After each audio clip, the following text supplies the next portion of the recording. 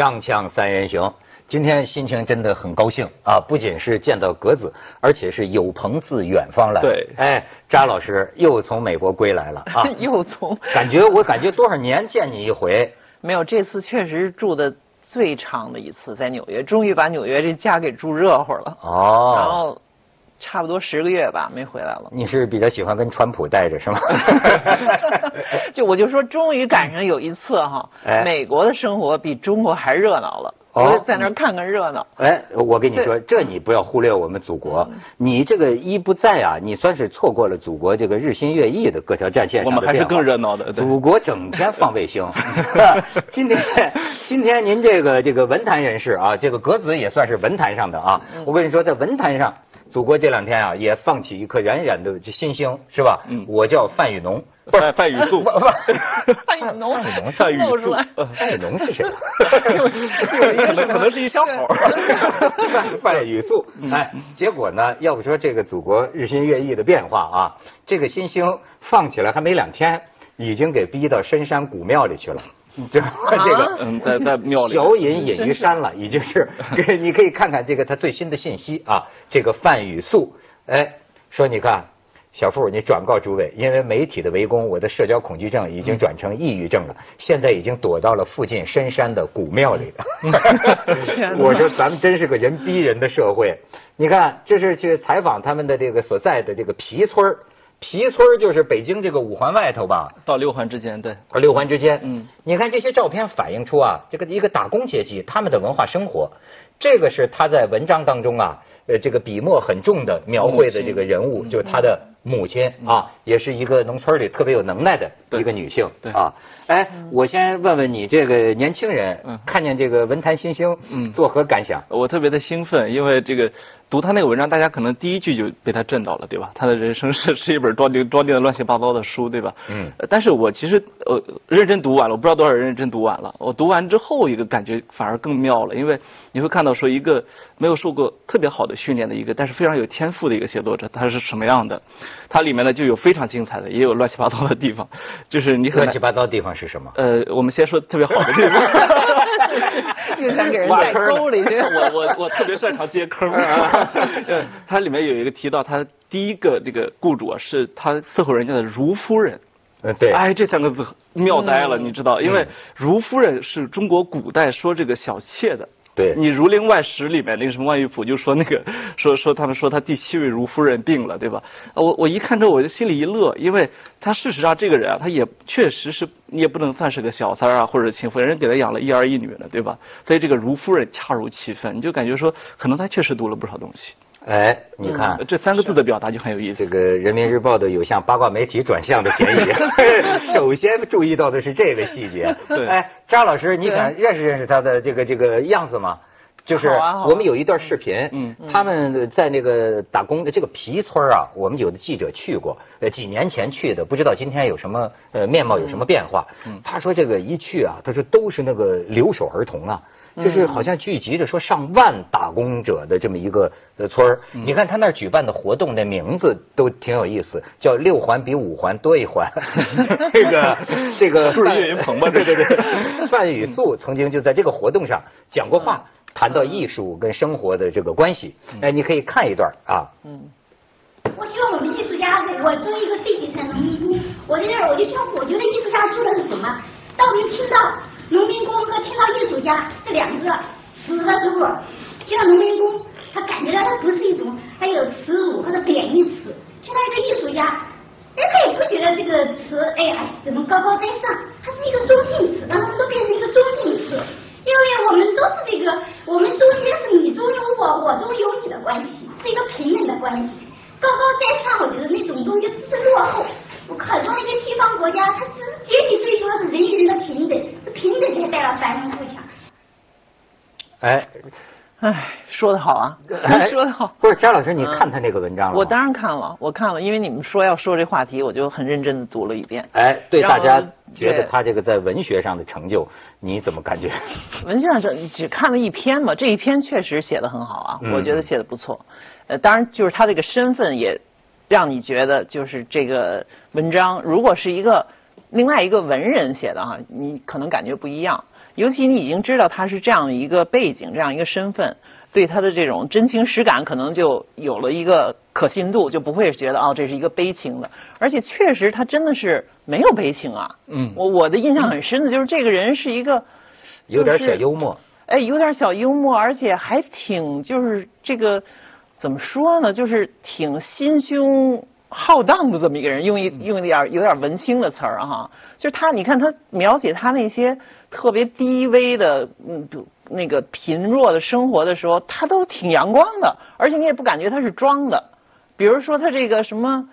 你看他，比如他是刚才说这话，你中有我，我中有你，哎我觉得说的很好。就是你们什么高高在上，我们这，你这有一句话就说说的，这可能是印度人说的啊，就是说，你看他们西方现在穷的就剩下钱了，就他那意思就是说，我们是一个精神上的，你看我们这么穷，可是我们精神上很富有，你们就就穷的只剩下钱了。这话真的也可以用来，就是他这个意思哈。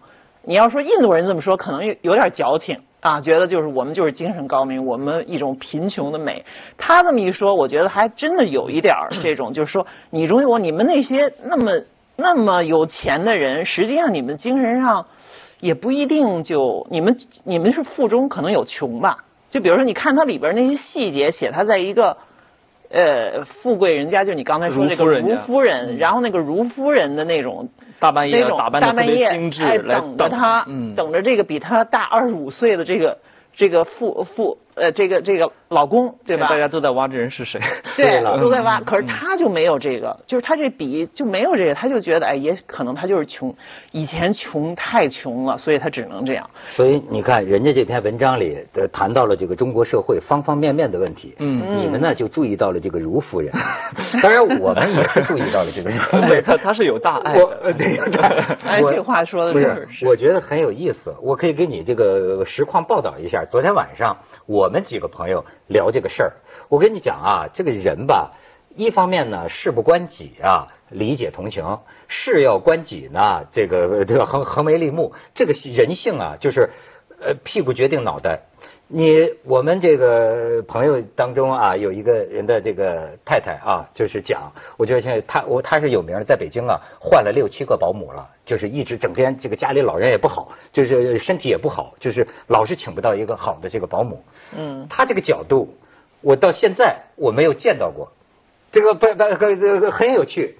然后他说，他说他说他写这个文章啊。他说，呃，到人家家里去做事儿，那是个如夫人，呃，这个那个老婆有两个孩子，这边又生了一儿一女，然后大儿子给他找了一个什么少林寺的学武，小这不小小小呃还还还还找了一个人大的学霸，找他学文，怎么怎么着，呃，还有一个什么三个月的小女儿，怎么怎么着，把人隐私都给披露了。他说这个保姆有没有职业伦理啊？嗯说这个东西家政工作，他说我不是说社会地位高低，对吧？就是说。呃，家政职业你是有职业道德的，呃，不管说有这个如夫人这个东西，在道德上这是另一个话题，嗯，但是哪家敢请这样的保姆啊？你给给人写出来是吧？而且甚至于说他现在就火了，火了那家周围的人肯定知道这保姆是这家做过的吧？至少是，嗯，那不是人家还说人家男的是百胡胡胡胡润百富榜上的这个挂名的那个嗯人，嗯这家分分钟就被查呀，这个 说，哎，我就就我就跟他解释，我说他他写的时候可能也并不知道他会火，嗯，他是个业余的呃这个爱好，自己这么写吧。嗯他说：“那你这个我觉得也也不对啊。”他说：“现在你看这请个保姆，整天打听，哎，你们家儿子挣多少钱呢？嗯嗯什么什么的。”哎，你我我觉得这 这也是个角度。就是他的角度。我我我觉得首先啊，这个呃没有事儿是十全十美的。他这个 你雇了保姆，然后你还指望说你这隐私完全一辈子不会被泄露出去，我没有。我觉得这是一个十全十美，是一个美好的愿望。第二个就是胡润百富榜上这样的人挺多的，不用担心。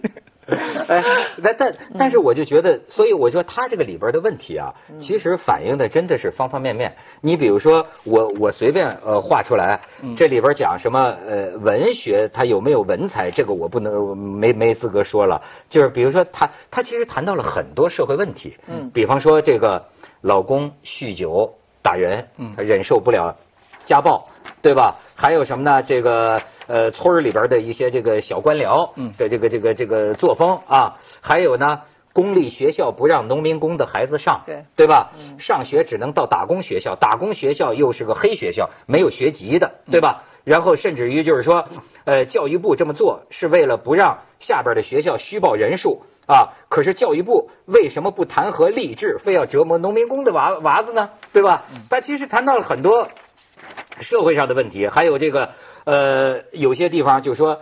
九一九九零年之前，中国农村妇女的自杀率世界第一，嗯对是吧？一哭二闹三上吊嘛。嗯呃，自从可以打工，哎，你看啊，这个挺有意思，就是等于说，打工之前，嗯，等于中国农村妇女跟她们老公在一起的时候，自杀率特别高。自杀率特别高。嗯嗯，反而是打工之后呢，农村妇女不自杀了，吴妈村儿对吧，都逃跑了。啊。异地联姻的农民工婚姻太太脆弱了，呃，然后呢，呃，像我刚才讲的这个留守子女，呃，北京这样的城中村啊、没妈的农民工的孩子也很多，还有呢，今天这个有些工人诗人写的那个世界工厂的螺丝钉，流水线上的兵马俑等等啊，然后还讲他母亲村里把这个农民的地一亩两万二，这么便宜就卖了。农民去维权，给那个维稳的人打断了肋骨。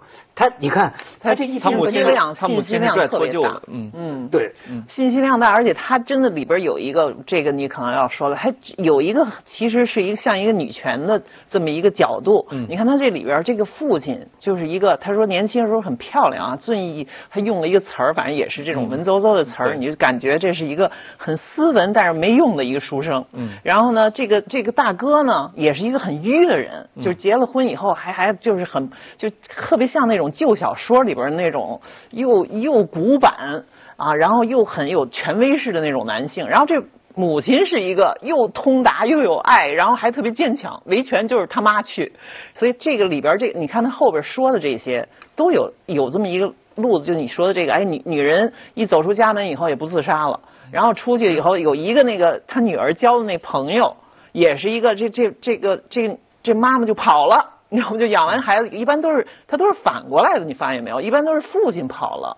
对吧？这是母亲跑了，可能又找别人去了。他这这条线也很有意思，而且我觉得他这信息量大，有一些很就是你说的那种小幽默，给我印象是你那个如夫人哈、嗯说的。我的印象就是什么呢？就是这村民啊，北京市的村民啊，因为这个地价全成千万富翁了。可是成千万富翁以后呢，这些人也有一种，哎，我也成人上人了。然后他是什么呢？遛狗，你记得那那细节特别太逗了，就每个人家里边全是遛狗队，村里边全都是十二条狗拎出去到你们农民工、外地农民工里边去旋一番。然后他，可是他这个幽默呢，和他这个阳光呢，就连在这种事儿上他都能哎一转。就是他说我女儿，你看我我在人家喂那个小小小女婴哈，我那大女儿就看着我的小女儿，可是很安全呀，因为那房东家就有两条大狗。一个什么苏格兰牧羊犬，一个是藏獒，威风凛凛，谁敢来欺负我们家女儿呢？哎他就给转那儿去了。所以你说他乐观呢，我也觉得挺有意思。就是说这个艰难的生活是吧？嗯，没有压倒他的乐观。嗯，被关注没两天，他忧忧郁症犯了。锵锵三人行，广告之后饭。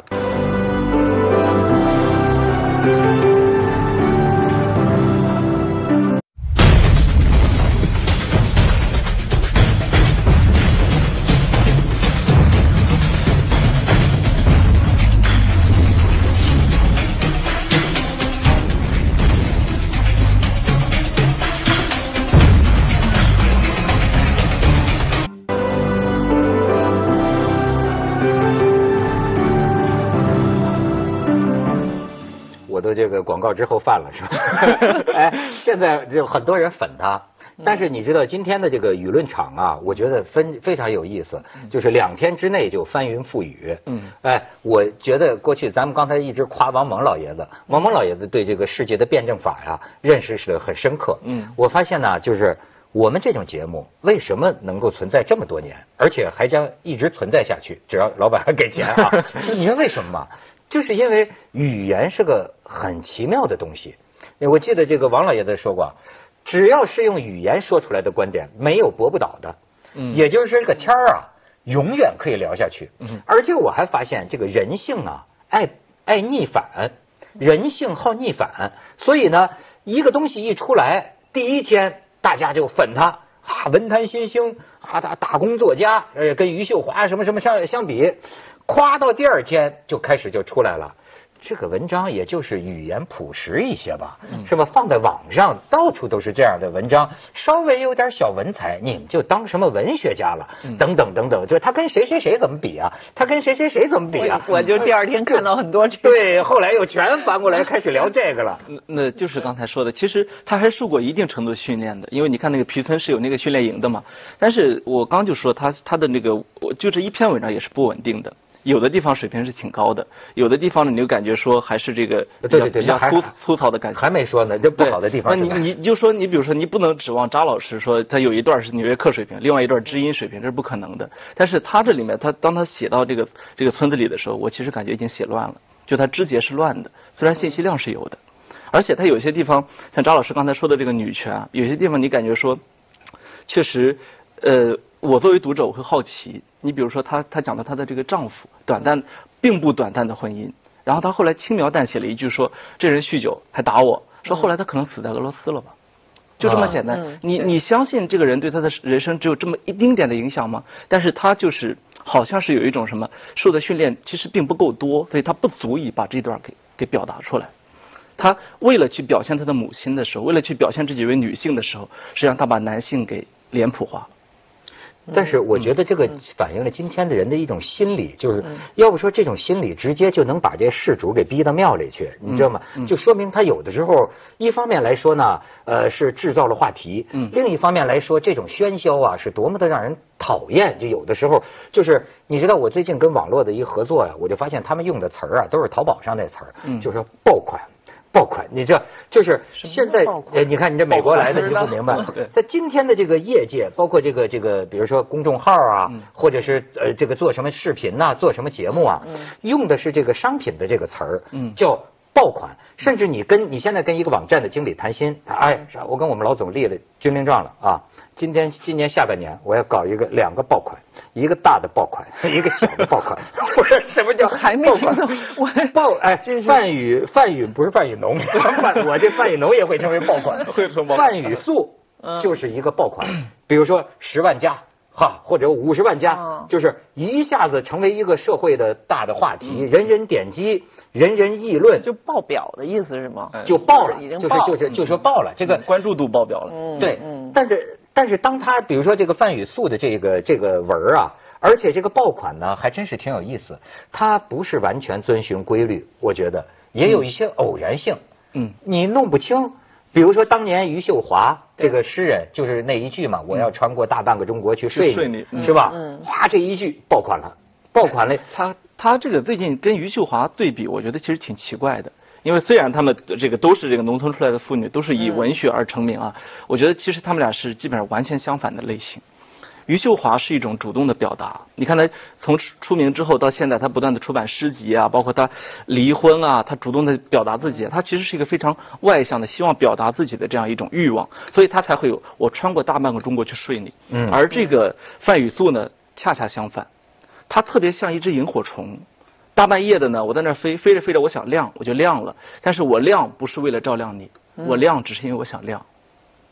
所以你看他话太深了。他的这个 他的这个酷是真的酷，就是说你你来了，你迎来了这个所有人都梦寐以求的关注度之后，我跑了，我是真的不想要，你总不能理解呢。所以他的那个视频里面说，对我来说一天吃俩红薯就够了。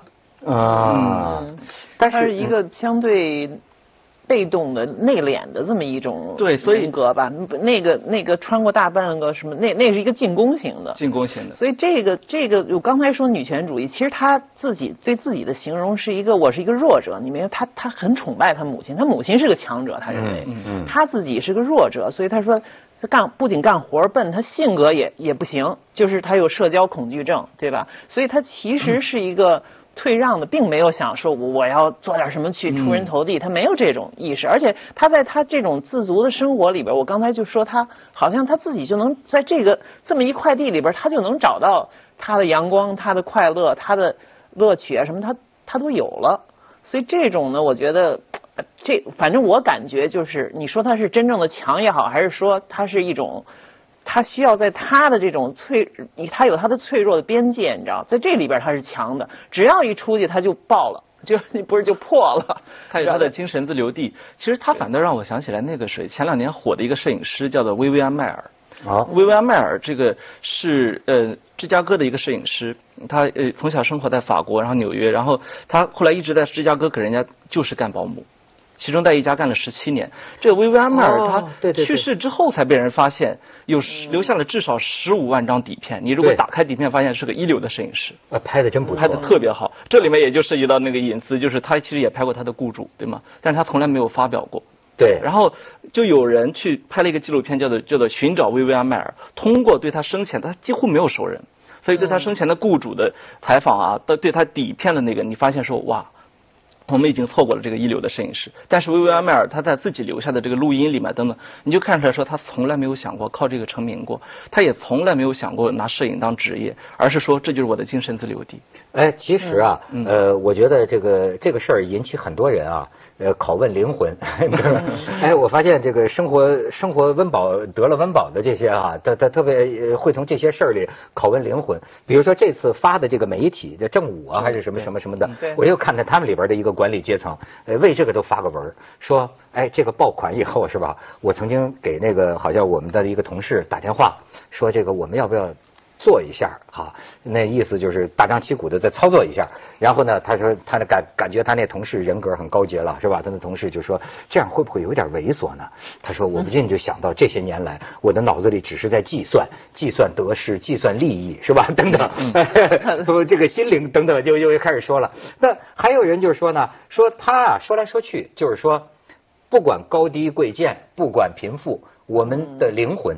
都是一样的，嗯，他他其实表现了一个这个。过去可能我们认为，一个保姆或者一个那个打工的，哎，呃，似乎他们是呃没有灵魂的人，甚至是没有面目的人，对吧？在很多所谓精英阶层，感觉说起来啊，但是呢，有时候他们发出这样一些性灵之作，你会感觉到他内心跟我们一样，嗯，是有这个感受人人生滋味的，甚至也有他的冲动。甚至有人提到当年顾长卫拍的一个电影里边塑造的一个角色，就蒋雯丽演的叫王彩玲，嗯。就是往往比如说在一个小镇上生活极端困苦，长得也不好看，但是呢，比如说是爱音乐或者爱舞蹈或者爱文学，甚至是一度可能去流浪，对吧？他也是这样啊，跑到海南曾经去去去去去流浪，一逞情怀等等，哎，就说从这个意义上讲，我们会感觉到。实际上谁都是文青，是吗？不，不是说无产阶级就不是文青，对吧？对他，他很很有意思，很有尊严。你刚才说他就是他这是个偶然事件，我相信一定是的。就他没有那什么隐私感呀，什么他没有想到我去披露谁啊，给你们臭一把。那是中产阶级价值观。哎，那个人是自己显出自己的那个小来了，是吧？对。而且这个平台呢，我还恰恰认识这个，就这个谢丁，他叫就是做这个正午的，他们是做了很多年的，一直就是这种普通人的。很多是啊，至少是写小人物的日常生活的。这个谢丁好像是一个那个何伟，就是这个 Peter Hessler，我们还说到这个他的他的粉丝，他就喜欢这种，就是说写非虚构、写小人物，写的很细，做了很多年。哎，如果不是这篇文章发在正好这正午，因为正午本身实际上在这个圈子里边已经有一批追捧的人了，就有固定的读者，有什么，所以。这是完全是一个偶然，就是正正好这个范以素这这篇文章发在这儿了，他一定是自己完全没有想到的，所以他写的这这些东西，我觉得他真的其实他是很自我的一种表达，就是他自己有一种尊严，有一种这种呃内心的一种强大，但是他完全没想到说这个东西有可能出出出这个圈子，你知道到别处去，所以他现在这种恐慌，我觉得是就对他是一个真的是一个意外。但凡有一点名利之心的，那往死里做呀！现在有多少出版社找他要出书啊？昨天六家。咱们先去一下广告，锵锵三人行广告之后见。